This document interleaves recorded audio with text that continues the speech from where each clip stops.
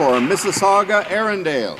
Mr. Speaker, while it appears that this Prime Minister's biggest international preoccupation is to avoid questions about his neglect of Kyoto, dozens of innocent civilians are dying on a daily basis in various parts of the world, and he is not even flinching.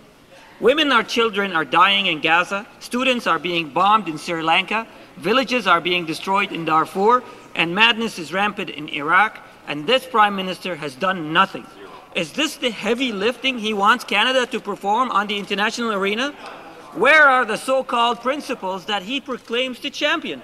Canadians expect their government to, to promote calm abroad, not to exacerbate division, to facilitate negotiated and peaceful resolutions, not to fuel tensions.